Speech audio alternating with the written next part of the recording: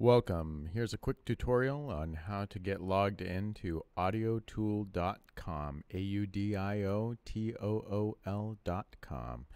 Uh, this is their home screen. Uh, you go into the upper right hand corner, click on login, uh, and you can click on a G plus, and that will get you set up into a Gmail account if you got one. That's the real simple way to get logged into here. Once you are onto the site here, you can get uh, onto your account up here. This is my username, the band director. Uh, it's always a good idea. Don't use your real name uh, when you're putting in a username. You should always use a, a moniker of some sort. Uh, I, I, use my gamer tag. Uh, in here, you can find out your activity, tracks, favorites, invitations. Tracks are really handy because when you click on your tracks, it'll take you to whatever it is that you've recently been working on and uh, you can come in and let's say this A minor bass and drum demo. You can click on that. And then it tells you all sorts of things like what are the tracks that are used in it. Um, you can download it as an MP3 uh, or OGG. MP3 is a real handy universal file.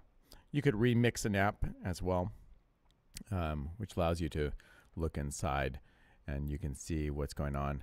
Once you get into the app, you need to click on the screen enable Flash. Most browsers nowadays ask you uh, permission to run Flash, especially Chrome. Uh, Flash can be a little unstable. Get the program loaded up here, and then you'll get a peek inside. Here you go. It's going to give you a little preview as it's loading up. You'll see it's got a, a range of different synthesizers in there, in addition to your soundboard and your amp.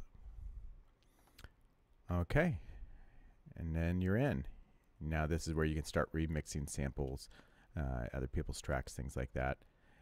Um, you get something like this.